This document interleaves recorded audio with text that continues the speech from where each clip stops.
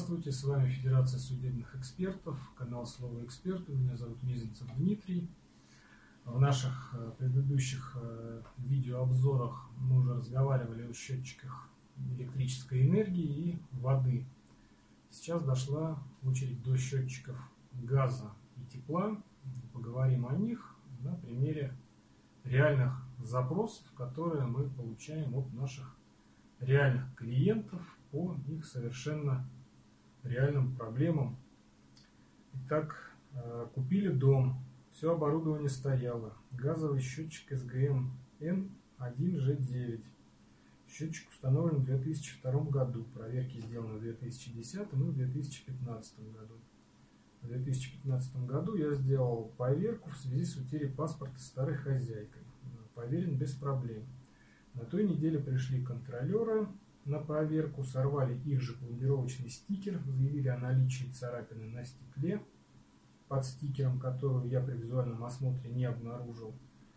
Э, на этом основании заставили поменять счетчик. Выписали квитанцию на 240 тысяч рублей при снятии счетчика и установке нового еще и пытались его забрать, типа на экспертизу. А как и где сделать независимую экспертизу счетчика. Э, Газовики снятый старый счетчик опечатали в пакете. Я и никто другой в работу счетчика за время проживания в доме не вмешивался. Значит, то, что касается э, газовых счетчиков. Вмешаться в его работу достаточно сложно. То есть для того, чтобы э, что-то намудрить с газовым счетчиком, его нужно полностью разобрать и собрать. То есть трещина э, на стекле, тем более которую визуально не видно, э, вряд ли с точки зрения здравого смысла может служить э, значит, поводом для того, чтобы этот счетчик, поверенный счетчик, демонтировать, значит, выставлять такие крупные штрафы. Здесь в данном случае, несомненно, вам необходимо обратиться в экспертную организацию. То есть э, экспертная организация э, значит, подтвердит то, что никакого вмешательства в счетчик э, не, про, не производилось. Значит, произведена метрологическая поверка счетчика, то есть подтверждено то, что показания он снимает корректно, то есть правильность снятия показаний, отсутствие вмешательства в конструкцию счетчика и отсутствие внешних повреждений а, будет свидетельствовать о том, а, что значит, вот эти а, денежные средства, которые с вас пытаются взыскать, пытаются взыскать необоснованно. Вот. Но с царапиной, конечно, нужно разбираться, что это царапина или трещина или что-то еще, и есть ли она вообще. То есть здесь не исключены такие варианты, что газовые значит, службы, они монополисты, они принципе, при желании э, творят, что хотят. То есть при их э, неблагосклонном, так скажем, отношении, они могут вам очень сильно жизнь испортить. Да, выставить штраф, а потом вообще отключить от э, газоснабжения. Поэтому надо, наверное, с ними бороться, а бороться в данном случае, кроме как путем проведения экспертизы, э, невозможно. других вариантов нет. Поэтому обращайтесь. Следующий вопрос. Сломался газовый счетчик, механический. Есть вариант, что он сломался из-за того, что в трубу вместе с газом поступала вода. Возможно ли сделать экспертизу, чтобы установить причину поломки? А, значит, поступление воды а, в газовую магистраль. А, вроде как бы с первого взгляда ситуация глупая, но тем не менее в нашей практике такое было на моей памяти как минимум два раза, когда приходили а, значит, подключать газовую колонку, а, путали а, значит, шланги, включали в газовый шланг там, водяной разъем, водяной газовый. Вот каким-то образом там, значит, вот эти товарищи еще умудрились все это соединить. Вот. Ну, ситуации такие действительно были, что из крана там, э, открываете кран, идет газ, э, там пытаетесь зажечь газ, э, идет вода. Э, ситуации такие бывают, поэтому путем проведения экспертизы это можно подтвердить, то есть путем вскрытия счетчика там какие-то следы жидкости мы обязательно найдем. То есть если действительно так было в вашем случае, то это будет установлено. Поэтому газовый счетчик, потенциально пострадавший от поступления воды, можете предоставлять на экспертизу, мы ее проведем. Э, далее, по счетчикам тепловой энергии.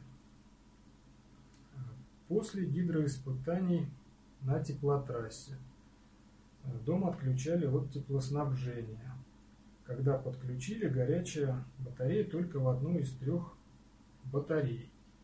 Вызов сантехника ничего не дал. Главный инженер говорит, что есть 18 градусов в квартире и делать ничего не нужно. Аргумент – общий счетчик и все по счетчику. Для отключения все грелись батареи. До отключения все батареи грелись. Теперь только одна как кипяток. Вопрос, как заставить коммунальные службы работать, чтобы заработали остальные батареи. Плачу за отопление 2600 рублей. Ремонт по трубам не делался более 30 лет. Помогите. А, коррупция не хочет платить и работать. В доме большая часть пенсионеров, а, работающих на военном заводе. Напишите, сколько будет стоить экспертиза. Возможно, мне удастся собрать эту сумму с уважением. Э, жилец. Значит, не совсем а, вопрос про счетчик, больше про систему отопления. Э, значит, смысл здесь э, в чем? Что до отключения отопления все работало как надо, после отключения отопления половина радиаторов отопления перестали греться. То есть э, причина, вероятно, в том, что делали какую-то промывку, но вместо того, чтобы значит, промыть систему отопления, то есть в, плане подготовки к отопительному сезону обязательно есть мероприятие по промывке системы отопления от скопившихся в ней за отопительный сезон там различного рода э, грязи, механических примесей, там, локально, что-то там еще. А, вот, то есть промывку, вероятно, провели каким-то не очень правильным образом, вместо того, чтобы выгнать всю грязь из системы отопления, они ее забили куда-то по радиаторам, то есть э, циркуляция через там, определенные секции радиаторов или через определенные стояки прекратилась. Э, ну, соответственно, какие-то радиаторы греются, какие-то перестали. Вот. Поможет здесь э, хорошая, нормальная человеческая промывка системы отопления. Значит, можете по этому поводу обращаться в суд, э, то есть заявление управляющей компании о том, что 18 градусов в квартире и так нормально, она э, как бы имеет право на существование, но только частично. Вот, поскольку, с одной стороны, в квартире не должно быть э, ниже 18 градусов, но с другой стороны, платите за отопление вы именно э, ту сумму, э, соответствующую количеству тепла, которое должно в вашу квартиру поступать э, согласно температурному графику. То есть а температурный график подразумевает то, что теплоноситель должен там, в зависимости от температуры уличного воздуха иметь определенную температуру. И э, значит, сами радиаторы должны разогреваться до температуры теплоносителя. То есть, если у вас постоянный не прогрев радиаторов, значит вы платите за услугу, которая фактически вам не оказывается или оказывается не в полном объеме.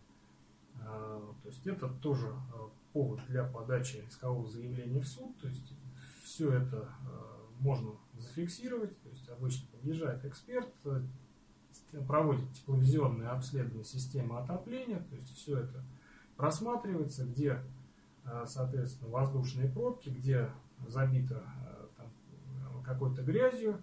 Это все видно. Вот, соответственно, на основании этого уже можно обращаться в суд, ну, либо обращаться с досудебной претензией в управляющую компанию э, с требованием устранить этот бардак. Э, значит, следующий запрос. Можно ли сделать экспертизу правильно Би установлен счетчик тепла в 12-этажном доме, один подъезд, на первом этаже магазин, город Йошкар-Ола. Э, значит, по счетчикам тепла, конечно, провести экспертизу правильности его установки возможно. Вот, причем э, правильность установки теплосчетчика, значит, она может существенно влиять на правильность его показаний.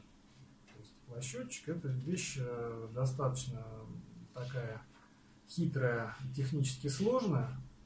Считает он сразу несколько каналов по отоплению. То есть он меряет температуру прямого трубопровода отопления, температуру обратного трубопровода отопления, э, температуру в системе ГВС, расход в системе ГВС и расход в системе отопления.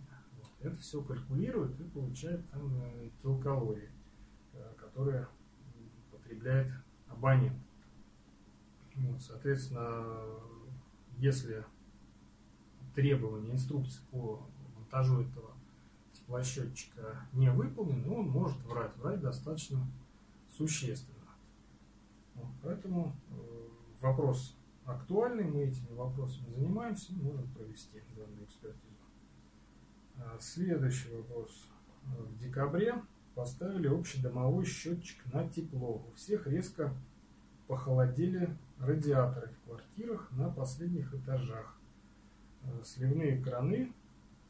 Меряем температуру воды в системе 30-35 градусов. Запросили показания счетчика. А там на входе 66 градусов, на выходе 54. Почему же у нас 30? Так, ну, э, вариантов здесь как минимум на первый взгляд два. Либо врет счетчик, потому что в счетчик э, вносятся программно все значения, то есть схема учета, прописываются датчики все. Э, поэтому теоретически можно э, добиться того, чтобы теплосчетчик неправильно считывал показания температуры. Вот. Ну, это достаточно технически сложно сделать, поэтому вариант этот, он, ну, на мой взгляд, достаточно маловероятен. А вот что более вероятно, это отсутствие циркуляции. То есть циркуляция не доходит до верхних этажей надо смотреть схему системы отопления. Э, то есть в системе отопления есть прямая ветка, есть обратная ветка. То есть по прямой вода поднимается, по обратной вода опускается. Ну, соответственно, проходит через радиаторы отопления, отдает тепло.